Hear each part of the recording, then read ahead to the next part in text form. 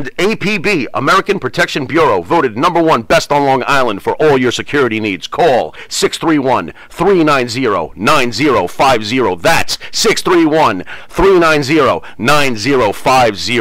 APB.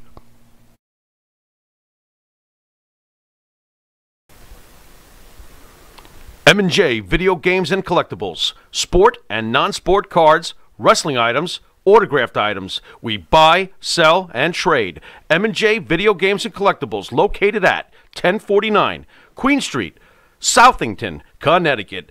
Call us at 1-860-479-9223 or 860-93-GAMES. M&J Video Games and Collectibles. piece it all together, right? Because you know I'm getting old. My memory doesn't work so well anymore. and me both. But they go. We're at the same thing. We, we were talking earlier. We both can't hear. We could just sign language each other. Do an interview with sign language. Um, you mentioned Vince Russo.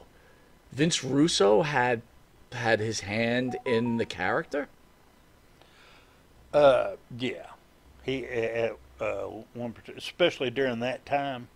Uh, I don't know where anybody thought that he was qualified to do that, but evidently Vince McMahon thought that he was, because there where he was, and then he just all of a sudden knew everything there was to know about every shape and form of life. Kind of like Dutch Mantell in a way. Yeah, but Yeah. Dutch can do it better. At least Dutch has got gift or gab, Right. you know. So Right. He's not saying bro every two seconds. Did he say bro to you? Like, bro, Bro, that bro, plumber's pretty hot. You know, the plumber go, bro, I'm telling you, bro, I know how to make you a plumber, bro. Yeah. So uh, no, it's uh, me and him never. We never ever seen eyeball to eyeball on, on anything for some reason. He didn't like me, and the feeling was mutual. I just, but see, I don't worry about people like that. I don't think anything. I lose no sleep whatsoever. I've got my life. I've got a wonderful life. I've got a beautiful family, grandkids, the whole nine yards. And I don't worry about the small stuff. And Vince Russo is the small stuff. You didn't you, on your way out of the WWE. You didn't send him some sign language, like you know, anything like that. Oh, I did that while I was there. You could do it right here on TV too if you want. Hey Vince, give, him- give him one. Give him a little sign language. Here you go, no, Vince. because see, I don't do anything like that unless I can do it to their face. there you go, baby. That's You right. know, it's easy to get uh, on a radio show or uh, do the texting and all that and tell tell somebody how bad you are and what you think of them. They're sob and you ain't no count and all that.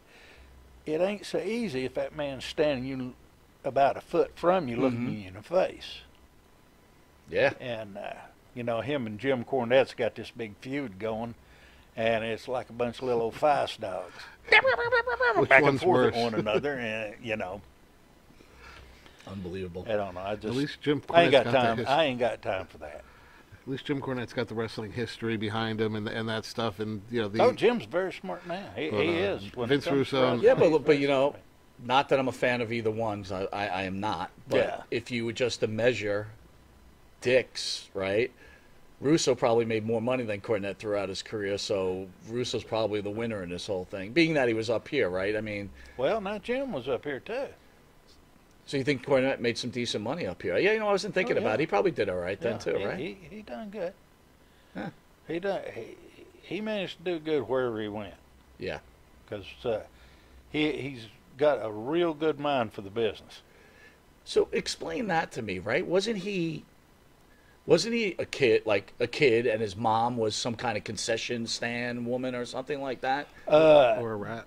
that's Rubers. I don't know that part of it, whether it was or not, but I, I was around him when he first uh, started managing uh, in Memphis, and uh, he was doing a good job, and he would do anything that anybody wanted him to do. He was more than happy to do it, willing to do it, and he did it to the best of his ability.